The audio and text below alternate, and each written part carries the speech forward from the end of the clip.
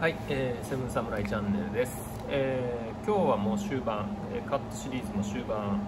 になりますけれども、えー shallow cut。shallow cut について解説していきたいと思います。はい、えー今回も、えー iPad で、えーちょっと解説していきたいと思います、えー shallow cut shallow cut ですね。 shallow cut の解説をしていきたいと思います。でシャローカットのポイントなんですけどシャローカットは、えーボールボールを持ってる選手がいます。でこの場合1番が、えーこのポジションにいるんですけれどももともとは、えーここここに1番がいたと、え考えていて考えてください。でまあボール持ってるわけですよね。でボールで、え持ってる状態でドリブルをすると。ドリブルをしてここに、え45度。45度のウィングのポジションにドリブルをして移動したと。で、えーまあ、この図の場合は2番に、まあ、選手がいたわけですね。選手がウィングのポジションに選手がいたと。選手がいて、えーこういうカットしてきてるわけです。つまり1番のポジションもともと1番のポジションにいたボールを持ったガードが、えドリブルをしてウィングに、え移動したか、え動いていったと。でその空いたポジションに空いたポジションに、え2番の選手がスペースを埋めるような意図で、えカットしてきたと。これをシャローカットと呼んでいます、まあ、 shallow cut をする軌道、えどういう方向でカットするかといえば、えー一旦ちょっとね、えペイントキーキーエリアに入ってくるような感じで、え動いてきてますね。でその、え1番がいたポジションに到達したら、えーパスをこのドリブルで動いていったガードから返してもらうと。パスを返してもらう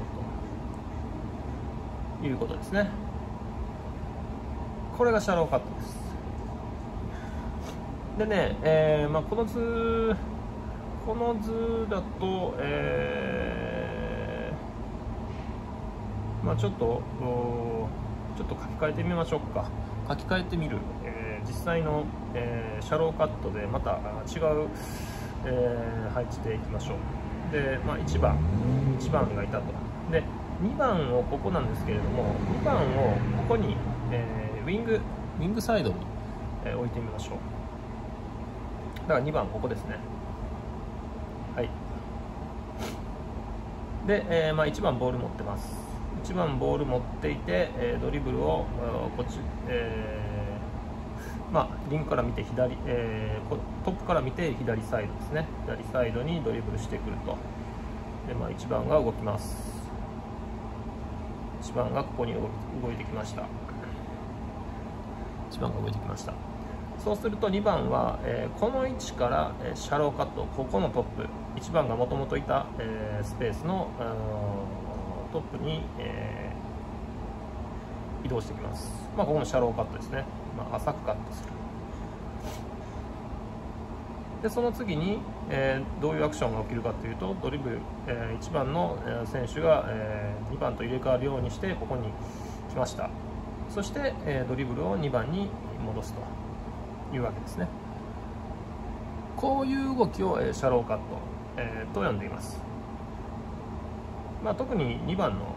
えー動きですね、まあ、逆サイドのウィングのケースで、え1番がドリブルで、えー覆いかぶさってきたような、えーローテート回転するような感じの、えーええ移り変わりですね。こういうシャローカット。これをシャローカットと呼んでいます。はい、えーシャローカットということなんですけれども、えー実践実践でどういうう、えーシナリオがあるのか、えー一つキーワードバスケットボールのキーワードをここで出してみます、えー、ショートコーナーショートコーナーショートコーナーって言われる、えーコート上のスペースがあります。それはここですね。ここ、えーこの、えー紫ピンク色のカラーで、えー、車線してあるスペース。この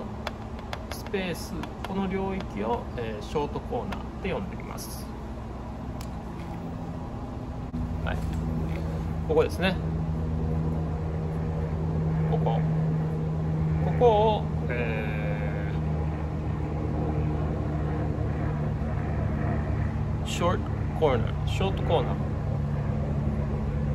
ーと呼んでいます。でシャローカットは、えー、ここのショートコーナーをエクスパンド、えー、広げてやる、えー、ここのスペースをね、え作ってやるっていうのに、えとても有効です、まあ、ゾンディフェンスに対してゾンディフェンスに対して、え結構使われたりもしますね。ということで、えショートコーナーショートコーナーを狙う。で、まあ、この場合であれば、えー2-3ゾーンの配置で、えー、ストラテジーボードに書いてありますけれどもショートコーナーを作るというのはどういうことかっていうとここですね。ここと、こここのスペースをアタックするのにショ、えー、シャローカットシャローカットっていうのが有効になってきます。でちょっとそれ解説してみましょう。はい、えー、シャローカットをゾーンに対して、どう使うかっていうことなんですけれども、まず覚え、ね、思い出してほしいのが、ボールを持ってる選手。ボールを持ってる選手がドリブルします。1つ目のポイントはボールを持ってる選手がドリブルします。でこの場合1番1番の選手がボールを持っているので、えー、これですね。まあ、これちょっとぐにゃぐにゃ波線っていうのはドリブルなんですけれども、えドリブル。ドリブルを、えー、2番のこのスペースにドリブルします。で、えー、2番の選手がどうなるかっていうと、えー、ここでシャローカットですね。1番の、えー、ガードのいたポジションに、えー、戻ると、えー、スペースを埋めてやるわけですね。2番の選手がここに来ると。で1番がここに来たというわけですね。で、えー、その次にボールの動きが何でですねはい。でですねボールがあーはい。でドリブルをしてやると。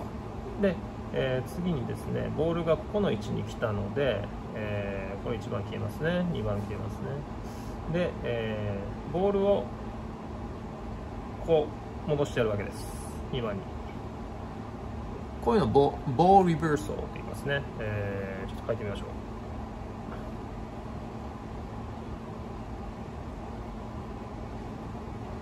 ボールを戻してやるっていうボールリバーサルっていう、えー、キーワードなんですけれどもこれゾーンのゾーン対策としてよく出てくる言葉です。ボールを返してやる、えー、ボールを、えー、ワンサイドからまた逆サイドに戻してやるということですね。でボールリバーサルっていうボールボールリバーサルっていうことで、えー、この2番の選手は何をしたいかっていうとまた3番にこう戻してやるんですね。3番にボールを戻してやる。だからシャローカットをしたと同時にここに来たボールがこうね、えー、サイドからサイドにこうボールが展開するということになるわけです。でですねそれでですね、えー、ディフェンスの動きに少しちょっと少し注目してもらいたいんですけれどもまあ1番がドリブルをこっちに、えー、ウィングにしてきたということで、えー、まあ寄りますよね。X が寄り寄ると。こっちにまあ意識を向けると。で、えー、まあこっちの逆の X のポジション、まあ、その時にどうなっているかまだわからないですけれども、まあ、こうちょっと寄ってると想定しましょう。でね、えー、ボールが、えー、このサイドから、えー、1番がドリブルして、えー、動いたサイドから2番に流れたことによってこれがねすぐこう対応するかどうかちょっとわからないんで、まあ、これが大きな可能性としては、えこの X このディフェンスがこうねカバーに入るということが考えられますでここのボールのパス回しがね速いと次3番に流れた時にこっちから2番のトップから、えー、3番に流れた時にこれがねすぐ対応できなかったとしたらこれがちょっと上がることも考えられます。これが上がったとしたらここで、えー、ショートコーナー ショートコーナーの広がりが生まれるわけですね。広がりが生まれると。でまあここに5番の選手いますから、えー、これが上がることによってここのショートコーナーのスペースを作ってやることになるわけです。ね、ボールリバースリバースをしてやることで、えー、ショートコーナーの、うん、スペースの広がりを作ってやることになるわけです。でね、えー、まあこれえー、一番初めに、えー、オフェンスを起動した選手、まあ、ドリブルでサイドに流れた選手、これですね、この1番の選手、これが、えー、この選手が、えー、スリーポイントが、えー、上手だと、ものすごく効果的な えー、動きができるわけです。それはどういうことかっていうと、えー、以前あの紹介した、えー、ディープカット。ディープカット。深いカットですね、えー、逆サイドから、えー、ベースライン上に 上に、カットしてくる。ディープカット。ディープカット。これを使ってやるわけです。これをねディープカットしてやると。ここまで。ここまでカットしてやります。そうするとえー、まあここからボールが2番に流れたと。でディープカットしてやるとこっからさらに3番からさらに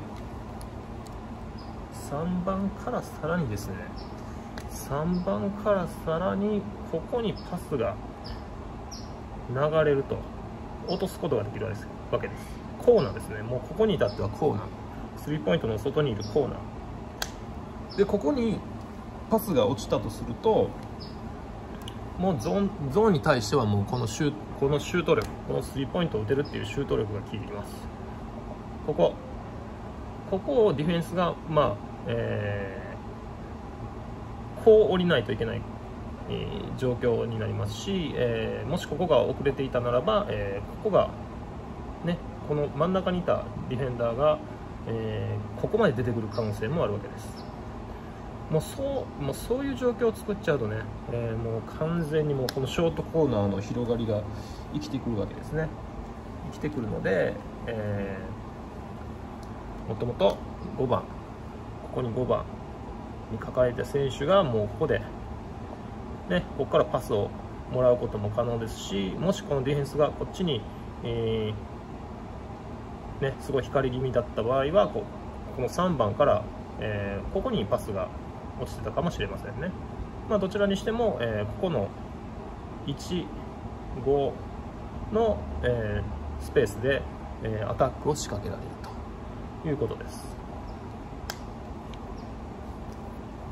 まあね、その時に、えー、3番、えー、3番の選手は、えー、このね、ディフェンダーが、えー、ここにいるのか、ここにいるのか、ね、その見極めここに落ちているのか、えー、ここにいるのかの見極めによって、えー、判断をしていこうと。判断ですね。3番の選手の判断が生きてきます、まあ、ここにパスを落とすのかここにパスを落とすのかもしくはここでドリブルですね。ドリブルをしてギャップをギャップを狙ってアタックするか。で、まあ、ここからシュートいきますね。で、えー、まあ、これが、えー、このディフェンスが寄せたらここに落としてやると。パスを落として。でダンクですね、まあ、こういうのが、えー、シャローカットを使ったディフェンスの、えゾーンディフェンスの攻略方法になってきます。はい。まあ、キーワードとしては、えー、ボールリバーサルショートコーナー。シャローカットですね。でまああとはギャップ。ギャップをアタックするということですね。はい。シャローカットの使ったディフェンスの攻略。これは、えー、まあ、基礎。基礎のカットとしてまた一つ自分のレパートリーにね、えー、追加してもらいたいと思いますはい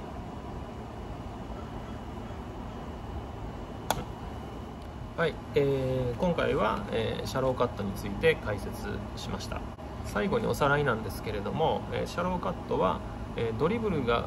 えー、ドリブルをした選手、えー、ウィングなどにえドリブルで、えー、ボールを持った選手が移動したら、えー、その位置にいたもしくは、えー、逆サイドの位置にいた選手が、えー、その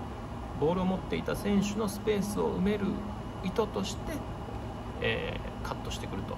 で、まあ、シャローカットの軌道としては、えー、キーエリアですね。ペイントエリアに一旦入って戻ってくるっていうような、えー、動きを意識してほしいです。で、まあ、ボールが戻ってくるのでそれをボールを受けたら、えー、また逆サイドに返してやるっていう意識を、えー、持ってください。で、えー、ゾーンゾーンディフェンスに対しての攻略に、まあ、シャローカットっていうのは生きてくるので、えー、ゾーンディフェンスのまあ、攻略のポイントとして、えー、以下のことも覚えておいてください、えー、シャローカット。えー、ボールリバーソボールを逆サイドに戻す。で、えー、ショートコーナー。ショートコーナー。で、えー、ギャップをアタックすると。でこれらの点を、えーまあ、ゾーン。ゾーン攻略のポイントとして、えーまあ、理解していると、えー、崩しやすいですね、うん、まあこれは、えーまあ、必要知識としてぜひ覚えておいてください。はい、えー、今回はシャローカットということで、えー、解説しました。えー、そうですね、まあ、うんまあ、ショートコーナーというキーワードが出てきましたけれども、えー、ショートコーナーはあすごい、ゾーン、ゾーンを攻略するのには、えー、重要だということと、えーまあ、ボールリバーソボールリブースリバーソっていうのは、えー、ボールをね早く展開することによってやっぱりディフェンスが揺さぶられるので、えー、ボールをねパス回しの速い、えー、チームっていうのは、えゾーンを、えうまく崩せます。やっぱりねボールが1箇所にとどまるっていうのはなかなかディフェンスも、うん、動きがないんでそんなに簡単に、えー、崩せる位置取りではないんですよね。スペーシングではないはいえー、まあシャローカットは、上です、まあ、シャローカットはねほんの一部きっかけに過ぎないので、えー、まあそこそこはまあ、えー、全体の中での一部として、えー基本動作として、え、他のね、えまあ、さっき、え、ディープカットも出ましたけれども、え、応用ですね。いろんなカットと応用して、えー、ゾーンを崩すという。まあ逆を言えば、えー、こういういろんな基礎的なカットができないとなかなか、えーね、しっかりとしたディフェンスに対しては、えー、通用しないえっていうことになります。はい、えー、以上、えー、シャローカットについては、えー、こんな感じです。終わりはいえー、まあ今回のカットはこういう感じでしたけれどもまた次回、えー、いろんなカットと組み合わせて、えー、応用してみてください、まあ、実践で使うっていうのが一番大切。でそれを使えるようになるには練習で繰り返して、えー、練習するっていうのが重要なので、えー、ぜひ試してみてください、えー、もしこの動画気に入ったって思える方は、えー、サブスクライブぜひよろしくお願いします Thank you. Please subscribe. ではまた次回よろしくお願いします終わり